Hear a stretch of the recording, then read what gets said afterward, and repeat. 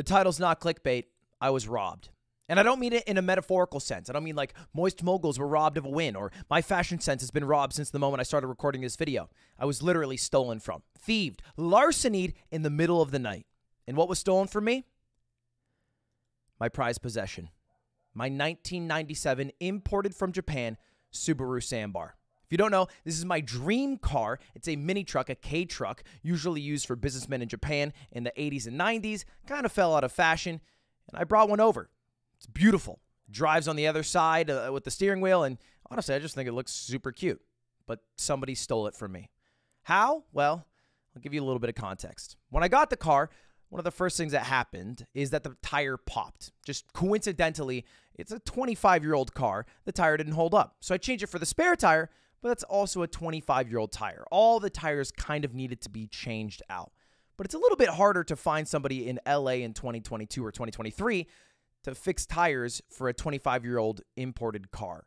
So it took a little bit. I kind of parked it at our warehouse, just waiting to find somebody with no real urgency because I still have my Vespa and I still have my purple Volkswagen that you might have seen in the video when I switched to YouTube. But there was a problem with the warehouse. Now, little context if you don't know, the yard used to be shot in my attic. This is literally my attic, but we moved it because the set was a little bit small to a studio space. And this is it right here. If you haven't checked the yard out in a while, the set's cool. And honestly, the recent episodes have been really funny. So go watch the yard. But because of that, I parked the car at the warehouse, which is just in LA. And the warehouse kind of came into some troubles lately. If you're not in LA, you haven't heard the devastating storms that have taken over. And by that, I mean it's been raining a lot in the past week. But for people in Los Angeles, that's like, you know, level five category issues, torrential downpours. It halts everything. There's a bunch more traffic, lights go out, power goes out, there's car crashes. We don't handle the rain well in LA. And so when the rain happened, the power went out. And I know this because Aiden, who was at the warehouse, was locked there because we have a gate like you normally do to protect the vehicles inside uh, in, in the building itself. Uh, and he couldn't leave because the power was off, so the gate wouldn't open. Storm made the power go out. I'm locked inside our warehouse. I'm wandering around a dark, empty building looking for flashlights and testing gates. This is insane. And this is Aiden all alone with an astrolight. I think that's what it's called, a sterilite, something like that. Either way, he was stuck and lost. Eventually, because the breaker didn't work, Zipper, the guy who produces our podcast, saved Aiden, got, uh, saved Aiden, got him out of there, uh, Private Ryan style, uh, and and we were we were all good. We were all hunky dory.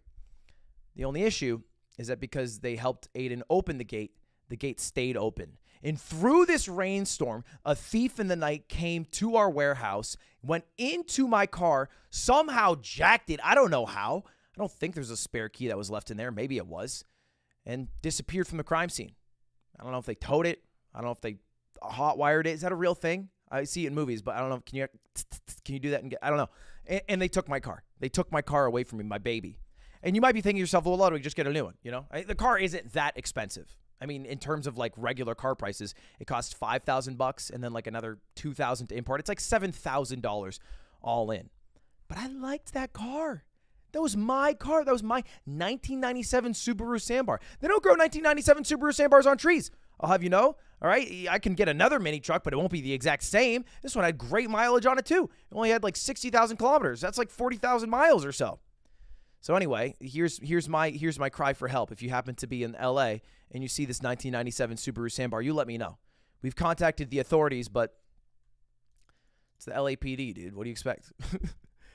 Come on, they got they gotta beat somebody up, right? They got they gotta be overly aggressive. They, they're not caring about my car, my vehicle. So anyway, that's where we're at. I was robbed. I figured I'd tell you guys a story about it. Maybe with our powers in our multiple eyes, we can find it. Or maybe I can just make enough money off this YouTube video that I can uh, buy another one. That's pretty much where my thought process is at. Anyway, thanks for watching. That's it. Just quick little update. Uh, back to more normal uh, drama, e-girl, uh, and Twitch news in the future. Subscribe while you're here. All right, see you later. Goodbye. Just a quick one. Why'd they take it, bro? Why'd they? It's such a cute car. It drives on the wrong side. You probably don't even know how to drive it like I do. I, I drive it so well.